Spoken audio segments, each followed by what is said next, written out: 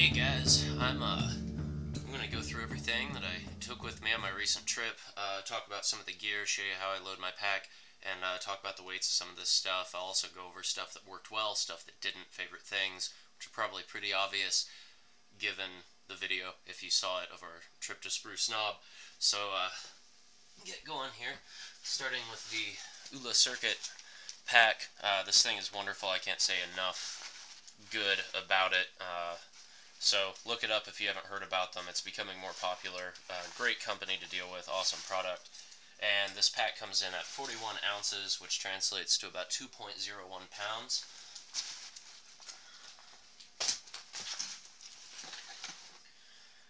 And within the pack, to keep everything dry, the first thing I have is the trash compactor bag. Popular option. Uh, again, this one has been on several trips with me, and the I've had to do one repair with some duct tape on it. Otherwise, it's uh, held up really well. And this thing weighs in at 0.7 ounces, so again, it's not much. I just open up the pack, stuff the compactor bag inside. Nice and easy. Uh, the first thing that goes in the backpack in the bottom is my quilt. This is a sort of more modern military sleeping bag cut down, the edges stitched up to just make a top quilt. Uh, it works pretty well. I've had it down into the 20s, no problem. Uh, it's not super light. It comes in at 2 pounds, 0.7 ounces. Uh, there are lighter options. For now, this works. Uh, very economical.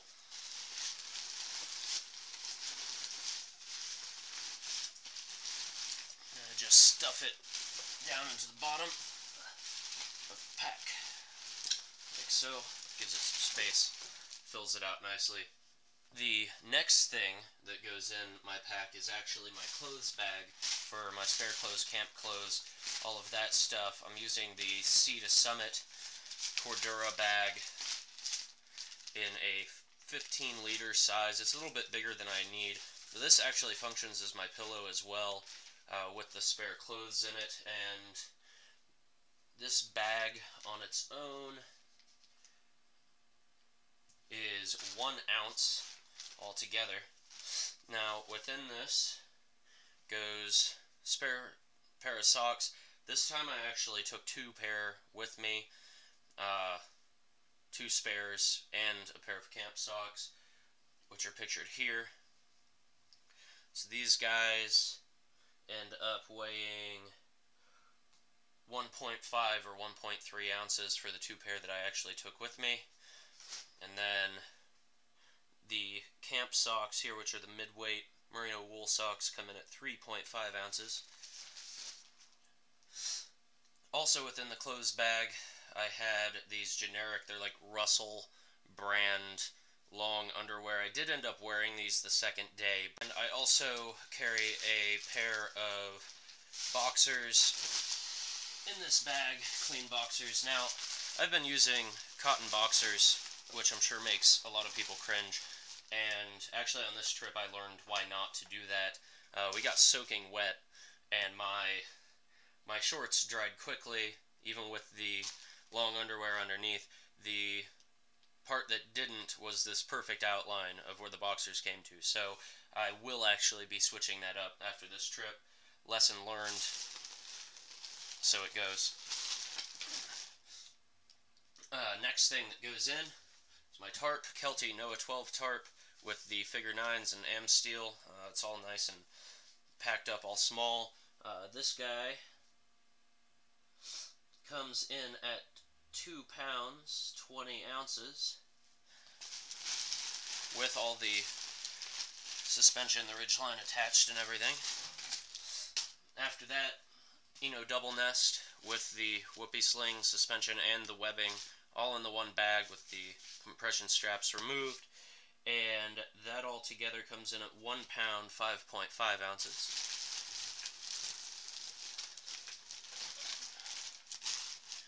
After that, it's my cook kit, uh, homemade alcohol stove, the aluminum lid cut up Red Bull container for windscreen, and I tend to carry two of these little bottles for alcohol. These were actually 5-hour energy bottles. I carry the denatured alcohol in there. Uh, it's about 1.95 ounces of alcohol each, and the the aluminum cup that I'm using, I have no idea what brand it is. Uh, it's 3.2 ounces. The alcohol bottles are 0.3 ounces each.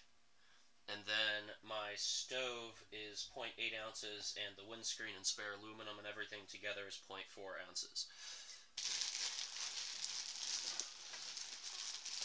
I get that nice and stuffed down in there, and then I roll over the bag. Everything that goes within the compactor bag.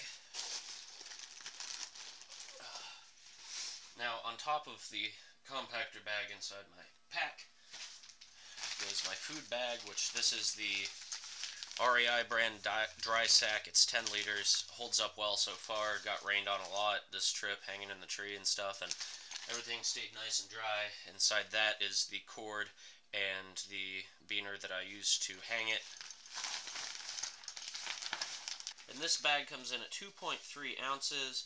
Uh, the line which I will be upgrading to something lighter, but right now that ball of line comes in at 3.5 ounces.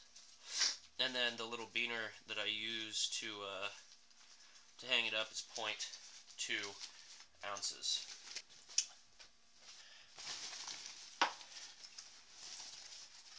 That's it for the main body of the sack. Roll it down. Nice and tight.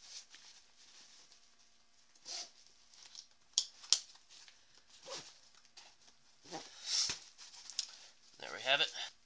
I have on one side, I carry my wet wipes, toilet paper without the paper tubes, and my little kit with allergy pills and ibuprofen. I'll also keep snacks and things in that pocket. And that goes in the left hip pocket here. The bag of wipes comes in at 1.6 ounces. Toothbrush sack with toothpaste and bag is 1.4 ounces. And then my little meds bag comes in at 0.3. Toilet paper is 0.6 ounces. The other side, with the hip belt pocket, uh, is where all of my electronics live. So within there we have the tripod and the sometimes the camera that I'm using to film now uh, I also carry the iPhone cable and the cable to charge the camera that I'm currently using. And the cable to charge the camera comes in at 0.6 ounces. Along with those goes the cheapy charge pack pocket juice brand from Walmart. And this charge pack comes in at 4 ounces. A headlamp, the Black Diamond Cosmo. Uh, they don't make this particular model anymore. Uh, it serves me well, works alright, does exactly what it's supposed to do. The batteries have been lasting for quite a while, but I do carry spares just in case I need them, and this guy is 3.3 ounces. Also in that pocket goes my Fujifilm XP camera, which I use mostly for still photos. Uh, it doesn't, it takes okay pictures. It's definitely not the best, but uh, its durability is held up. I've had this for a few years now, and uh, it does great as far as not dying and, again, taking okay pictures.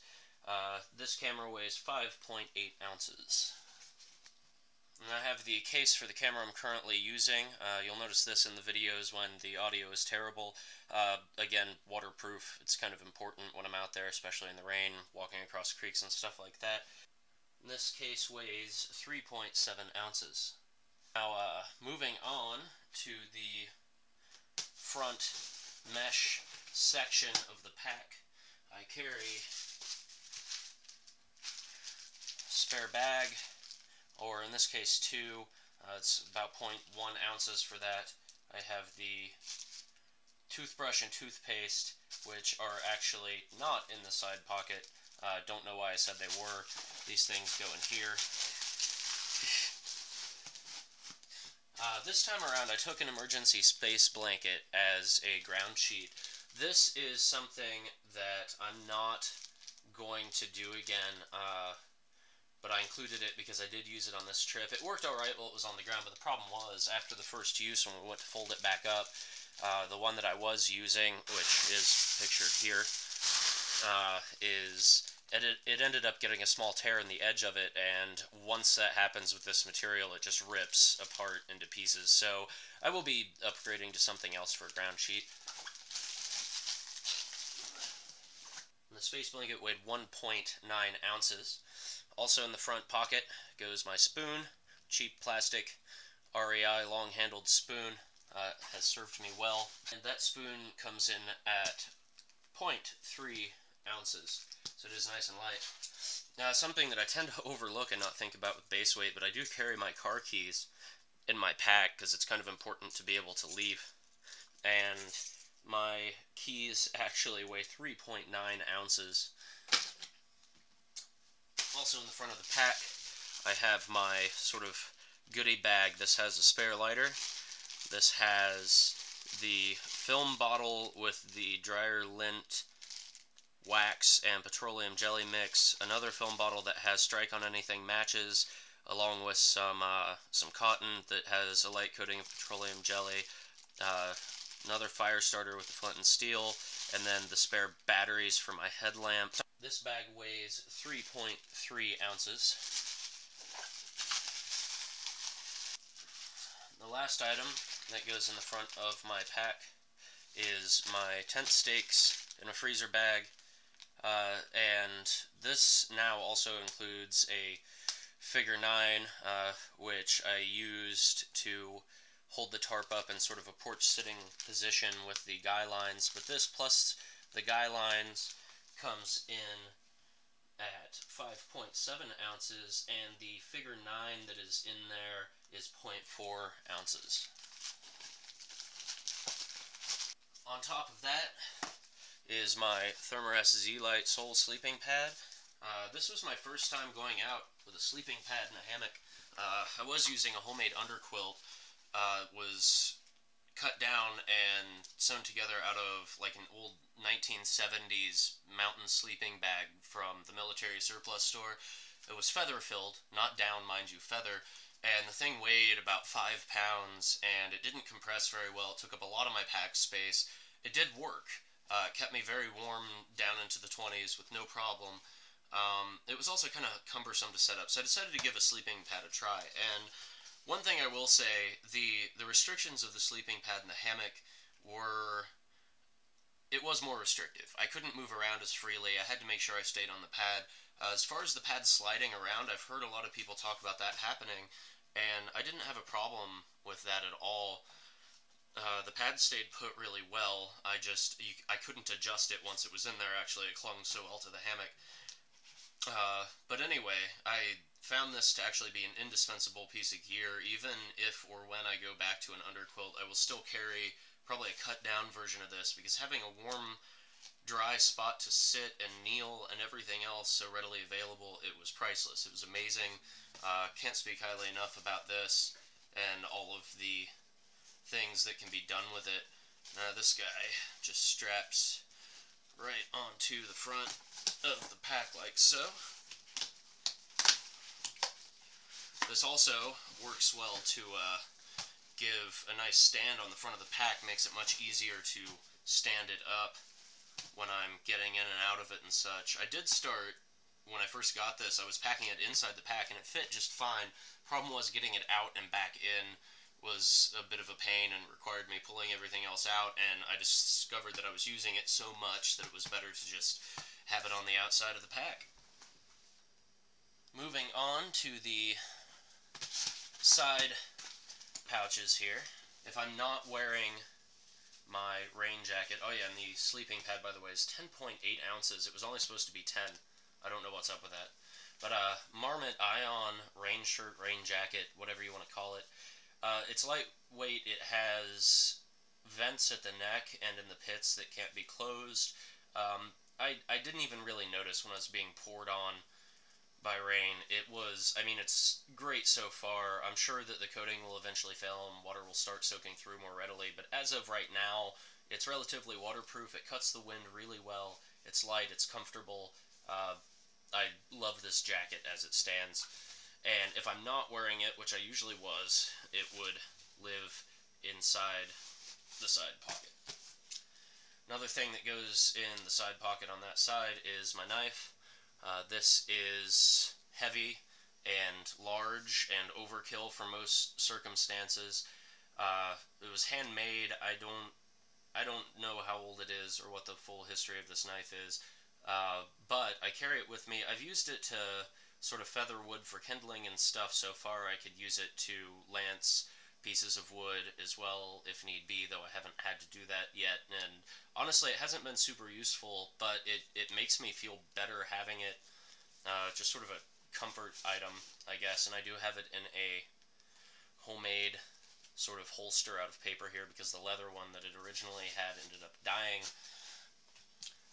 And on those two items, the rain jacket is 4.9 ounces, and that knife is 7.2 ounces. Moving over to the other side pocket here, I have my new favorite items, the Kahtoola Micro Spikes. These things were amazing. Again, if you watch the video, you'll see how much I used them. So, I did carry them at the beginning of the trip, but then ended up wearing them for the rest of the time. So uh, I'll sort of go by maximum weight here, but these guys each are 5.9 ounces. And if I wasn't wearing them, I simply balled them up and stashed them in the side here. Now, when temperatures were above freezing, I carried my filter, and I do have a bag, which would live in here. Uh, the filter would also stash in the side pocket if temperatures were above freezing. Otherwise, I carried them in my pants pocket just to keep them close to my body and keep it from freezing. The filter itself, after use, probably with some residual water and stuff, is 1.7 ounces, and the bag for it, the 16 ounce bag that came with it, is 0.7 ounces. I also do carry the straw in the front mesh compartment. I forgot about that. Uh, the straw weighs not even a tenth of an ounce. It was negligible, so didn't really count it toward the weight. Uh, so there's the filter. Uh, my water bottles, I actually carried two of these. One of them would get clipped to the front and be easily accessible. These awesome water bottle holders. Like so.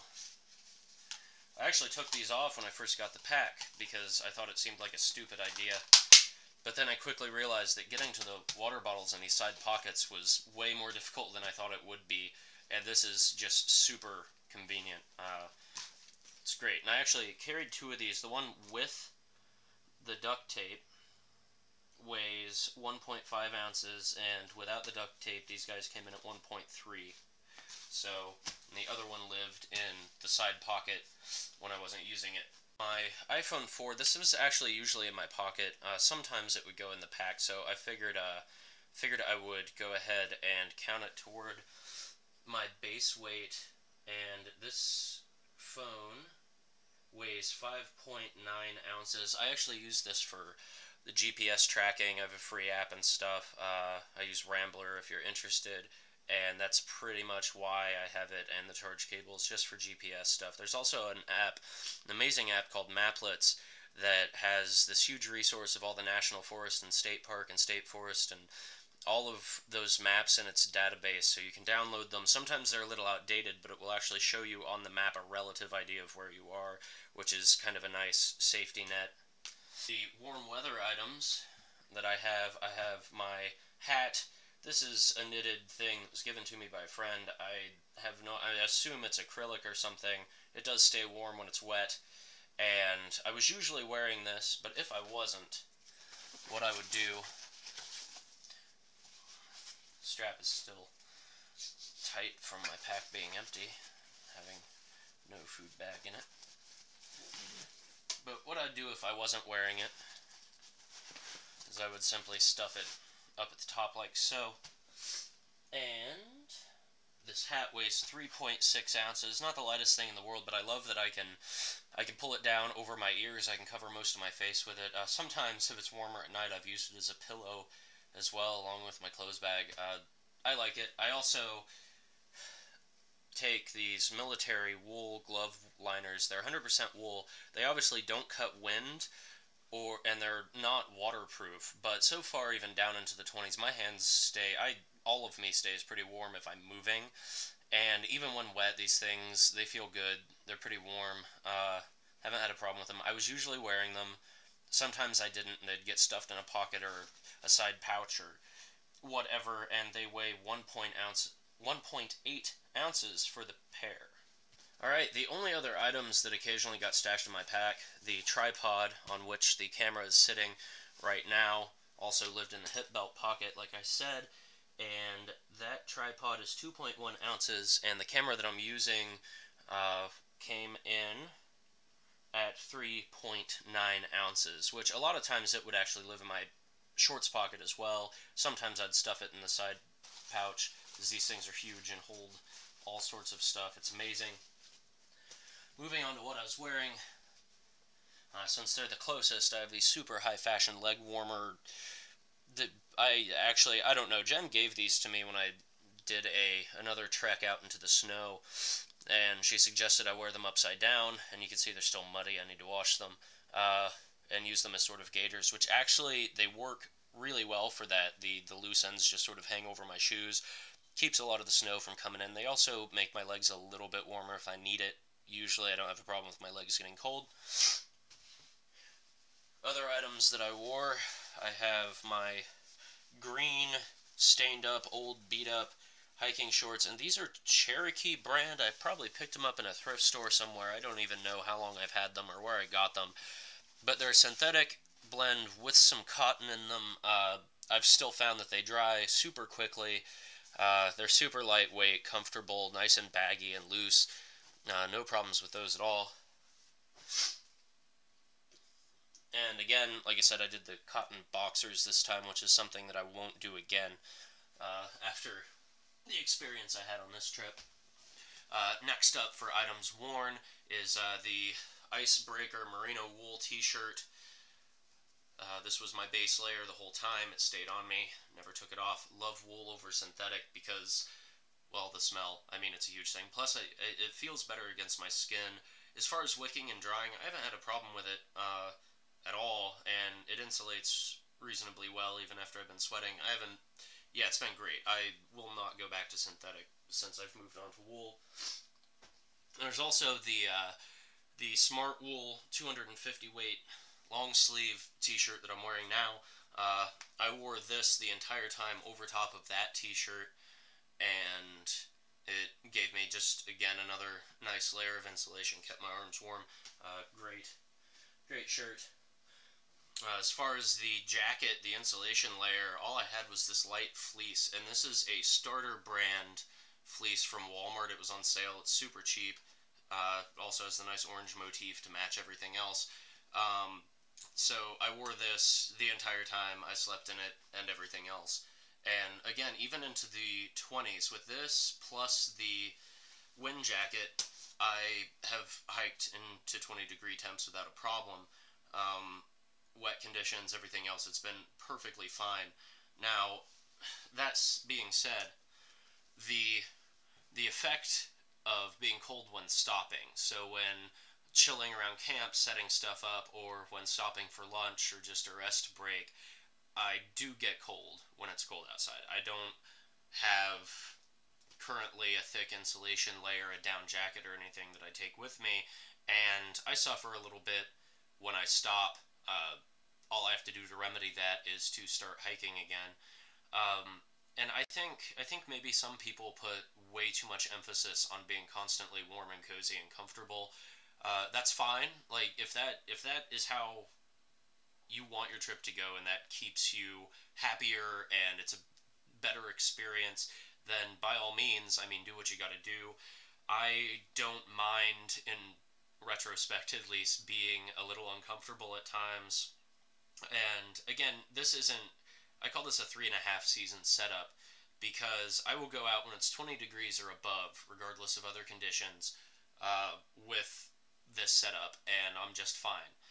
The if I were going out below that, especially down into teens, single digits, stuff like that, yes, more layers would be involved, uh, heavier pack weight, more gear.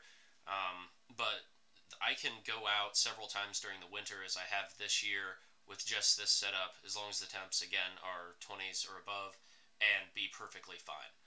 I also don't mind being a little uncomfortable at times. As far as footwear, the uh, merino wool, uh, smart wool socks that I showed you, they're the lightweight uh, hiking socks. That's all I wear. Um, I've accepted that my feet get wet. That's something, uh, if you watched the last video, Jen had the waterproof boots, which I was a little envious of starting out. And then by midday, the second day, her feet were soaked just from snow, finding their way through the Gore-Tex and finding their way through the top of the boots. And the difference was she was walking in puddles for the entire second half of the day. Like there was just no way to get the things to dry out at all. Meanwhile, I was wearing my Lems Primal 2s and this is all I wear actually every day, everywhere I go, all the time, hiking, in winter, spring, summer, walking around town, playing, going to work, whatever. Uh, this is the only shoe that I wear. I love these things. They're super durable. Uh, I will do a full review on them in the near future. Uh, and these are super minimalist if you don't know about them. There's zero drop heel, there's no cushioning, there's no padding, no arch support. It's basically kind of like a well vented sock with a rubber sole. And again, like I said in the video, my feet do get wet. They get soaking wet. But I found that even in the low temperatures I've been in with the wool socks and with these shoes, as long as I'm moving, my feet stay warm. They're wet, but they stay warm.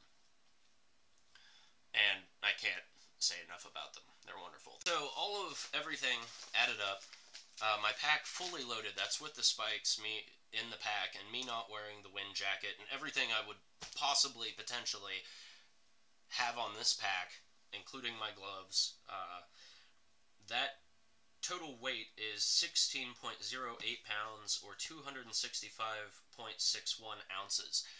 Uh, this weight will go down as it gets warmer out, obviously. Uh, a more realistic idea of what I was carrying on this trip specifically since I was wearing the spikes and the wind jacket and such most of the time. Uh, without the spikes, without the wind jacket, this pack comes in at 248.91 ounces or 15.56 pounds. So I'm still in the lightweight category, even with my winter setup, and it works well. Not bad for me at all. One other thing I forgot to mention, my uh, compass slash thermometer here. It's this little Brunton thing. Uh, again, it's not the best compass in the world. It gives you a good general idea, and the thermometer is accurate enough. Uh, again, I know if it's in the 20s, 30s, 40s, 50s, or 60s. I don't know the exact temperature, but that's fine. It gives me an idea of if I have to worry about frostbite or my filter freezing or whatever, and it finds north mostly and this compass weighs 0.6 ounces. So there you have it. That's uh, my pack and all my gear that came with me on this trip. Uh, if you watch the video, you'll see some of the stuff that worked out really well, and again, a couple things that didn't. The using the space blanket as a ground sheet was not the best experience, and I would have brought more dry layers, especially socks and especially socks, basically, uh, for this trip, it would have made life a little better because everything, of course, ended up wetted out by the end. Um, but overall, good system, works well, still constantly evolving, pretty lightweight, comfortable. And don't forget to like and subscribe. Uh, like I said, I'm going to be having more content coming out, more full-length trip videos, which will get better. Uh, this is actually the second video I'm making ever. So I'm working on craft. I'm working on getting better shots and cutting out more of the filler. So hopefully stuff will get be more concise and more exciting to watch as time goes on. I'm going to be putting out at least two videos a month, hopefully more. Uh, next up will probably be a gear review of the Lems Primal 2 shoes and I think next week there's a good chance that I may be going back to Spruce Knob uh, just sort of to finish what I started, and that would be a solo trip. So you can look forward to that and some other pretty exciting places that I have lined up in the near future. Alright, thanks for watching.